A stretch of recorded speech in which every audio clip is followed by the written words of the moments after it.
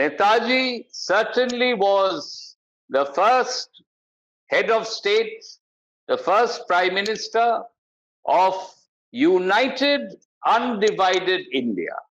The important factor is united, undivided. She missed out the most critical factor.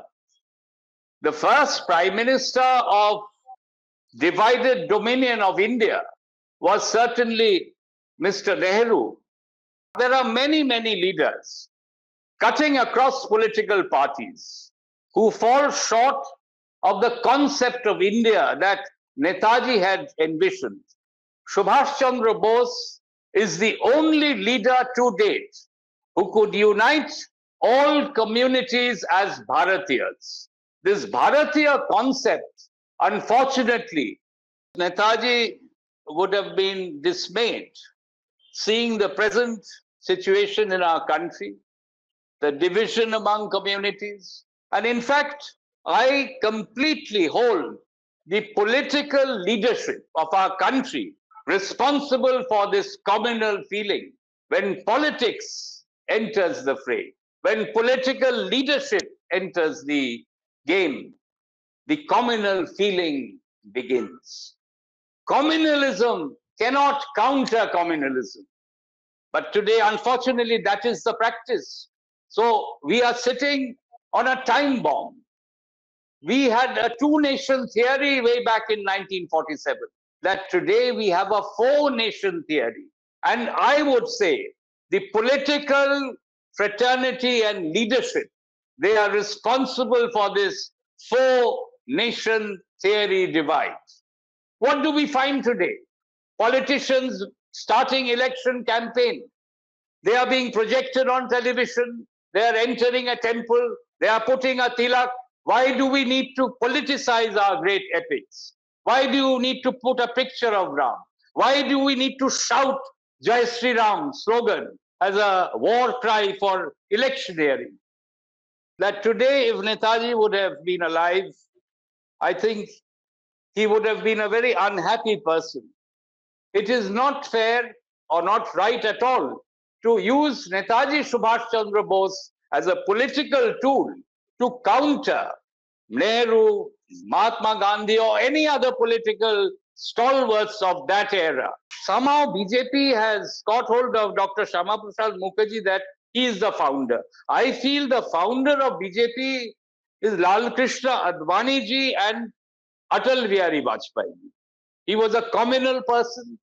He opposed both Sarat Bose and Netaji's ideology of inclusive India. Doing polarization, there may be a win for a political party, but the nation loses. Or do you want to unite the people and make the nation win? Hello and welcome to HT's ongoing talk show, The Interview, and our special segment, Elections 2024 The Big Picture.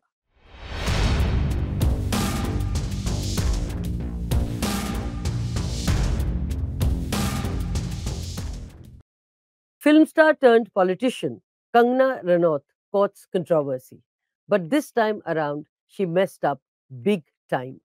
She tread slippery ground and said India's first prime minister was Netaji Subhash Chandra Bose. Hell broke loose and the knives were out. It was none other than one of Netaji's own who stepped in to set the record straight. Disturbed and a trifle upset at distortion of historical facts, Netaji's grand nephew, Chandra Kumar Bose, came out strongly. That apart, he also spoke about today's India being contrary to what Netaji had wanted independent India to be. For the uninitiated, Chandra Kumar Bose had joined the BJP and contested against Mamata Banerjee in the assembly elections in 2016. He later quit the BJP because, to quote him, it was becoming impossible. Unquote. We have Chandra Kumar Bose here with us to talk about Kangana Ranaut, Mamata Banerjee, the BJP, and much more. Chandra Kumar Bose, as he turns the pages of history in this edition of Elections 2024, the big picture.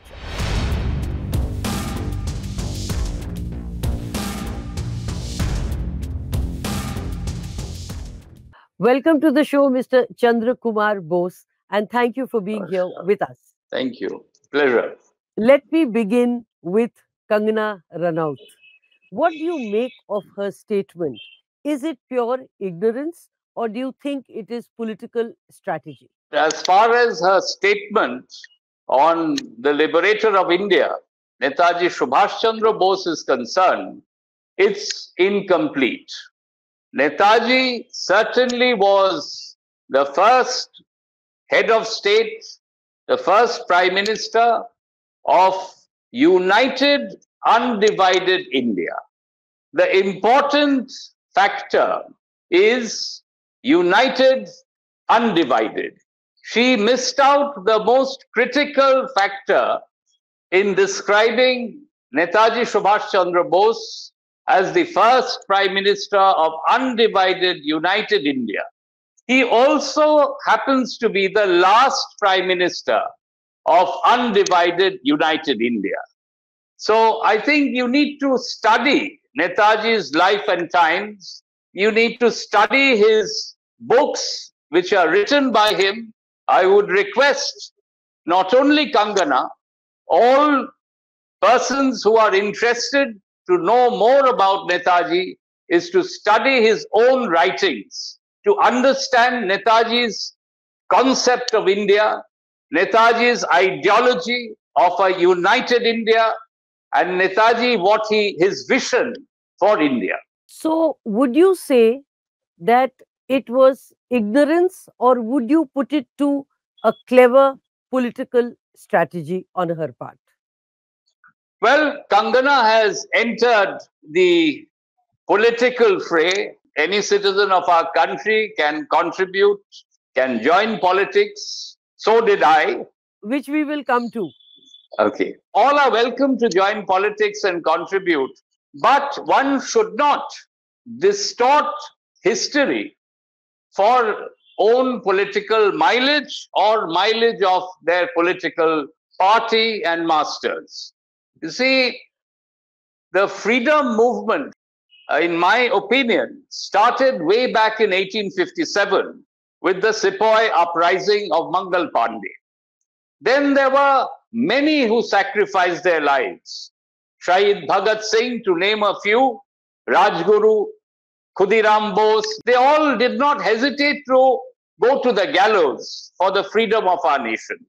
Then we had Mahatma Gandhi's non-violent movement which also had its own impact. But the final onslaught on the British power was none other than the Battle of the Indian National Army and the subsequent INA trials, which were held at the Red Fort in early 1946, completely destroyed the loyalty and allegiance of the British forces to the British High Command. And that was primarily the seminal reason why Britain relinquished India. So now, you know, the first prime minister of divided dominion of India was certainly Mr. Nehru. So I think in order to say that uh, Subhash Bose was the first prime minister and not completing your sentence of undivided India, it gives somehow a message that you're trying to challenge the first prime minister of divided dominion of India. There are two completely separate issues and separate matter. You know, you just said that to talk about Netaji, one must first understand his ideology. Point well taken. In this context, do you think that Kangana Ranaut falls terribly short. It is unfair to, uh, you know, kind of uh, tell her that she falls short. There are many, many leaders cutting across political parties who fall short of the concept of India that Netaji had envisioned. If you really want to understand and admire Subhash Chandra Bose, you must understand his inclusive secular ideology. According to me, Subhash Chandra Bose is the only leader to date who could unite all communities as Bharatiyas. This Bharatiya concept, unfortunately, as a nation, we have failed. The leadership and political fraternity, we have miserably failed in order to unite all communities. You know, when you speak of Bharatiyata, in one sense, the BJP government naming or renaming India as Bharat, do you think that is a step in that direction? I think uh, in our constitution, it is very clearly stated that India, that is Bharat. So there is no difference between Bharat and India. India, that is Bharat, it is very clearly stated. So whether you address our nation as Bharat or India makes no difference. But it would make a difference if we implement the concept of being a Bharatiya. That we are unfortunately we have failed. Against that backdrop, looking at today's India, wouldn't Netaji be turning in his grave? Yes, Netaji would have been dismayed seeing the present situation in our country, the division among communities. And in fact, I completely hold the political leadership of our country responsible for this communal feeling when politics enters the fray, when political leadership enters the game, the communal feeling begins. Communalism cannot counter communalism. But today, unfortunately, that is the practice. So we are sitting on a time bomb. We had a two nation theory way back in 1947. What I find when I talk to common people, when I talk to people who are concerned about India, they feel that today we have a four nation theory. Just explain this four nation theory to me. You see, north of India has their own feeling, has their own ways, their own attitude. I don't want to get into details, but you know what I'm talking about. South India feels differently. They don't feel they belong to the rest of our country. Eastern India has its own feelings and attitude, and Western India also goes on its own path. Where is the unity? And I would say the political fraternity and leadership, they are responsible for this four nation theory divide.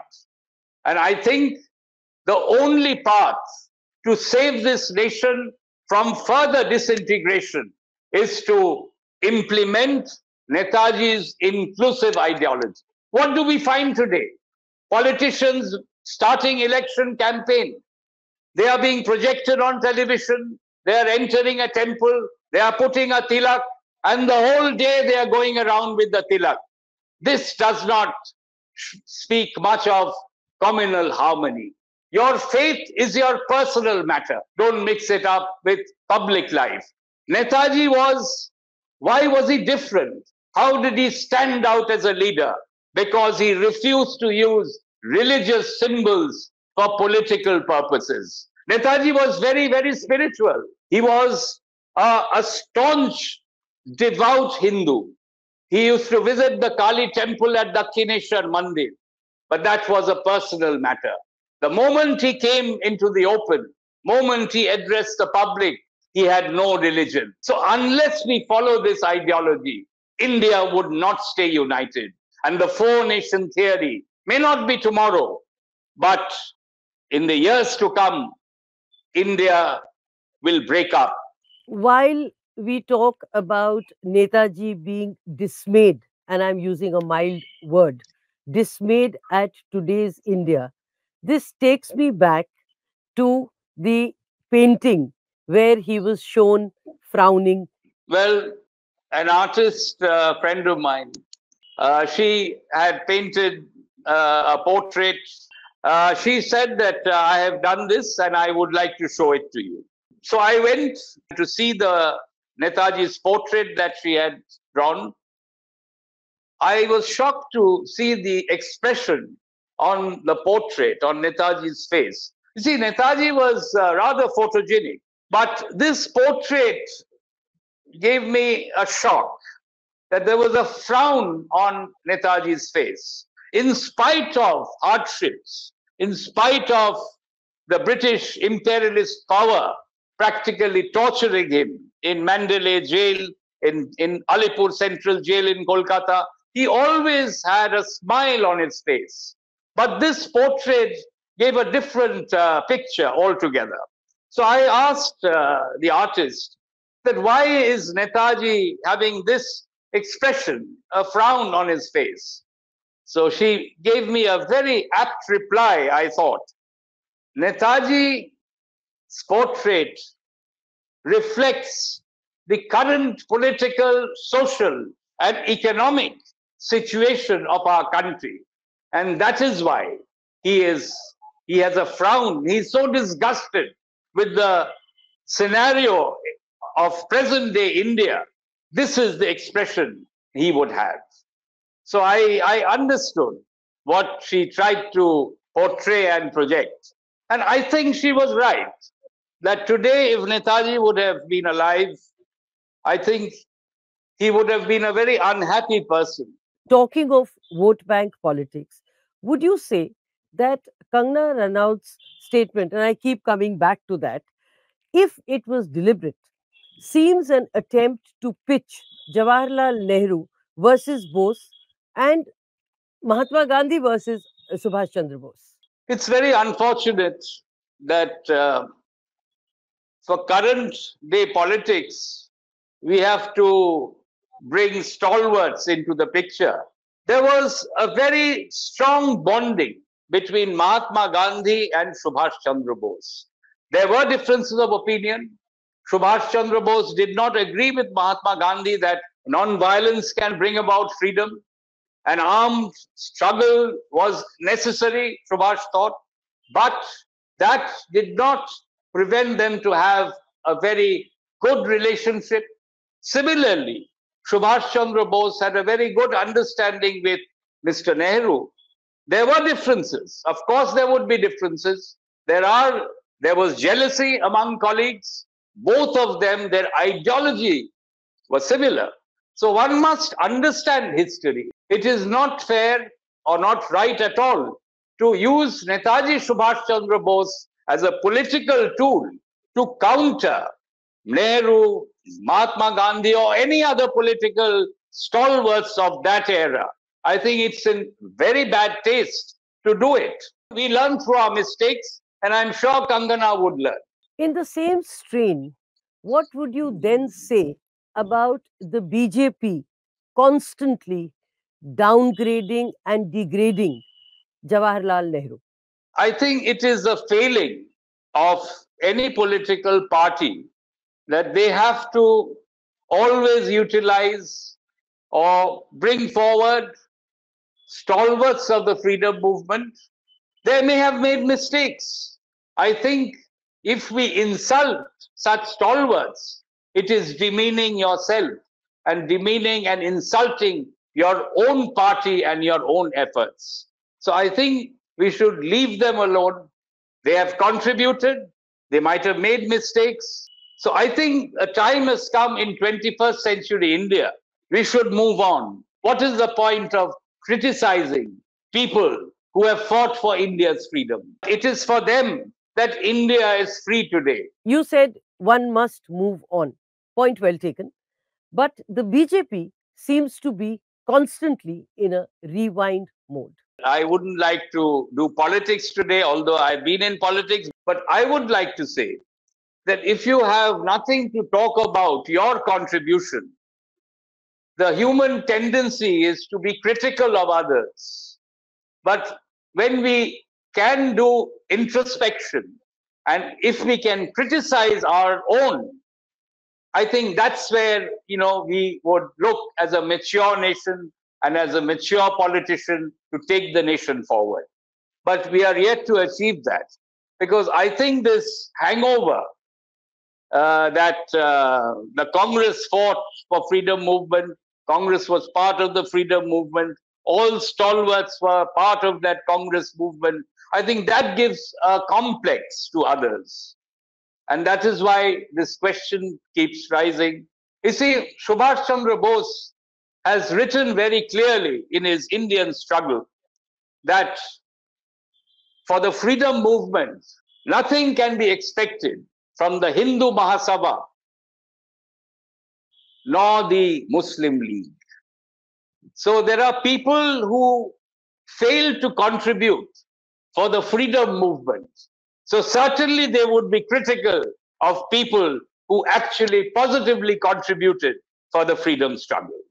So maybe that is one of the reasons why they are constantly harping on this issue at you know the congress made a lot of mistakes congress did make a mistake we should have never partitioned the country congress should have never agreed to partition of india if netaji would have come back in 1947 and if he would have remained the first prime minister of india then the country would have continued being undivided united india in 1947. And in 1947, from the ramparts of the Red Fort, United India's flag would have been hoisted. While on the BJP, you joined the party and then quit. And to quote you, it was becoming impossible for me. Take me through that.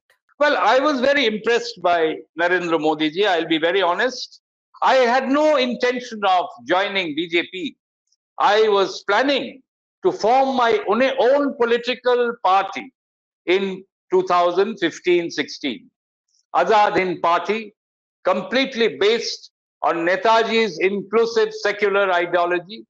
But then when while speaking to Narendra Modi and others, they suggested that you join BJP and you use BJP platform to spread Netaji's ideology. So then I was given the assurance that a morcha would be formed, Azad Hind Morcha. And I would take, you know, leadership of that morcha and I would go around the country preaching and spreading Netaji's inclusive ideology. But that never happened. What about your saying it was becoming impossible for me? My conscience didn't permit to campaign for BJP to spread BJP's ideology. It was contradictory to my beliefs and my you know conviction. Because my politics is completely based on the Bose brothers concept of politics, both Sarat Chandra Bose and Subhash Chandra Bose, communal harmony, no Hindu-Muslim issue, no bringing religion into politics. So I think I did probably misunderstand when I was told that I could freely do politics using BJP platform, preaching Subhash Bose and Sarat Bose's ideology. Azad Hind Morcha was never formed, by the way. So I thought I would get an opportunity to go to parliament to raise issues of Bengal. Bengal has always been neglected, unfortunately. Bengal has suffered over the years. Yet you contested against Mamata Banerjee in the assembly elections. So I requested the party leadership that first time give me a seat where I can win. They had a lot of seats. They said, no, no, no, you will win. So I said, I think that is a tall order because in 2016, BJP had no organization, even in Bengal. And to contest and to defeat Mamata Banerjee in her home turf, I think would be very tough. Well, I increased the vote share. I obviously I could not win. Talking about West Bengal, do you think this is the West Bengal which Netaji would have liked to see? The state is gripped in political violence, and so also the nation. First of all, if the Bose brothers had their way, Bengal would have remained united. Communal leaders like Shama Prasad Mukherjee, who was in the Hindu Mahasabha, who was who is known as the founder of BJP, who was a scholar in his own right, but politically he failed. But somehow BJP has got hold of Dr. Shama Prasad Mukherjee that he is the founder. I feel the founder of BJP is Lal Krishna Advani ji and Atal Bihari Vajpayee. Shama Prasad Mukherjee was a divider of Bengal. He was a communal person. He opposed both Sarat Bose and Netaji's ideology of inclusive India. Political violence? Political violence is again entirely the fault of the political leadership cutting across all political parties in Bengal. All political parties, unfortunately, have encouraged and practiced political violence to get mileage. This must stop. Before I wrap up, let me ask you given your political insights, what do you think or what do you make of the BJP slogan of 400 plus seats this time and about Mamata Banerjee looking for an other term in the forthcoming assembly elections? Well, first of all, the strategy adopted by political parties to win elections is wrong. It is polarization. For polarization, a political party may win. Doing polarization, there may be a win for a political party, but the nation loses. The nation is defeated. So, do you want to defeat the nation and make a political party win through polarization? Or do you want to unite the people and make the nation win? Today, what is known as Andha blind voters or blind supporters, they really don't know why they are supporting you. It is very unfortunate. But why do we politicize Ram? Why do we need to politicize our great epics? Why do you need to put a picture of Ram? Why do we need to shout Jai Sri Ram slogan as a war cry for electioneering? These concepts take India back to the dark ages, to the stone ages. Politically, we are still in the dark ages of history. What about the 400 plus seats slogan that the BJP claims this time they would win?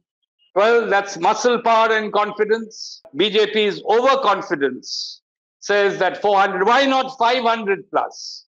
Why leave 100 seats for somebody else? We started this program on Netaji's ideology. So I will end in the same strain. So let me ask you between non violence and armed struggle, which of these would you or do you subscribe to? Both the movements, the revolutionary armed struggle, the non-violent movement of Mahatma Gandhi and the Congress, and the final thrust of the Indian National Army. This three-pronged approach was responsible for freedom of our country. But India is free today. We need to have world peace. Today in 21st century, I think we need to have peaceful discussions. We can always resolve issues through a dialogue. It wasn't possible in the British era. We had to boot them out. We had to fight them with the with the sword, with the gun, with bullets. India is free today. But in today's free India, I think the non-violent approach, I think is a better approach. Mr. Chandrakumar Bose, thank you very much. Thank you for your time and thank you for being here with us and taking us through the pages of history. Thank you. Jai Hind.